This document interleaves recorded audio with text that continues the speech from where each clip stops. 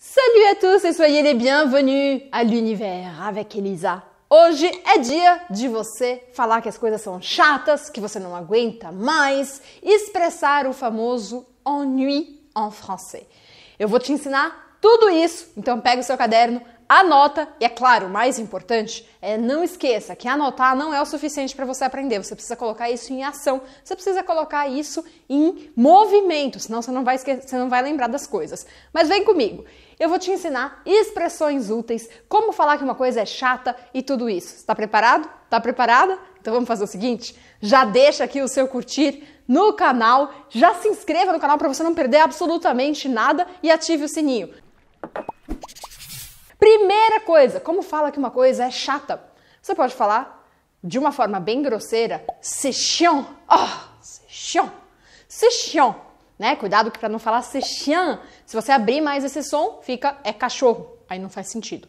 Mas c'est chiant com A-N-T. E aí você vai falar com um som de batata quente. Se você não sabe do que eu tô falando, vai ver os meus vídeos sobre pronúncia, os meus vídeos sobre a matemática das letras. Só digitar na lupinha matemática das letras que você vai achar.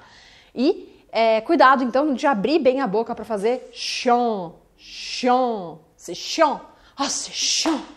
Então lembra que isso é grosseiro. Se você quer falar que uma coisa é chata, mas não quer ser tão grosseiro, como é que você vai fazer? Vai encarnar a francesidade em você. E aí vai falar c'est ennuyant. Ennuyant é tedioso, é chato, mas é tedioso, ok? Então a gente tem c'est chiant e c'est ennuyant. Vamos descobrir mais algumas expressões e algumas formas de você expressar que você está sentindo isso? Alors on y va.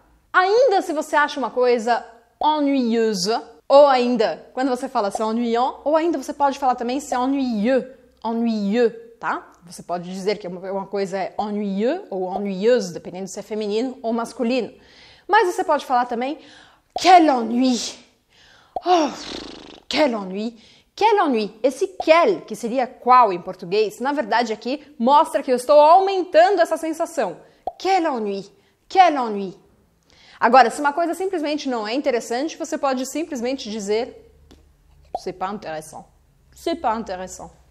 Ah non, ce film, c'est pas intéressant. Il est pas intéressant. Elle est pas intéressante. Lembre também que, como é um adjetivo, a gente está falando aqui de adjetivos, você pode colocar no feminino, masculino, plural, etc.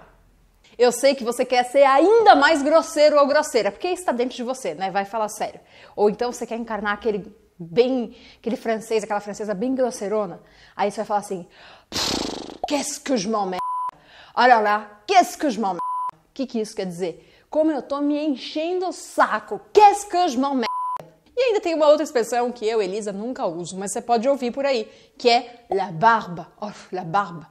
La barba. Se você não soubesse, se a Elisa não tivesse te explicado isso, se alguém chegasse para você e falasse la barba, aí você ia traduzir literalmente e ia falar, hã? Barba?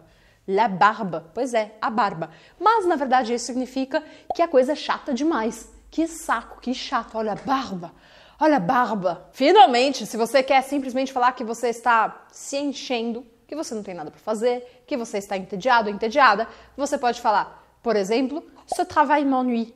Ce travail m'ennuie, cette vidéo m'ennuie. Espero que você não fale isso. Cette vidéo m'ennuie. Ou ainda, je m'embête. Je m'embête. Ou seja, você não tem nada legal para fazer. Je m'embête. Ou c'est chiant, como a gente já falou. E para terminar, o famoso je m'emmerde. Je m'emmerde. Você vê que os franceses gostam muito dessa palavra. E eles transformam até em je m'emmerde se fosse um verbo. Eu estou me emmerdando. Je m'emmerde, que significa tô entediado. E alors, espero que você tenha gostado desse vídeo, que você tenha aprendido alguma coisa. E eu espero que não tenha sido chiant, ennuyant, ennuyeux, emmerdant, etc. Não esquece, deixa aqui embaixo nos comentários qual dessas expressões você ainda não conhecia. E vamos colocar o seu francês en action. Merci beaucoup et à la prochaine. Ciao, ciao!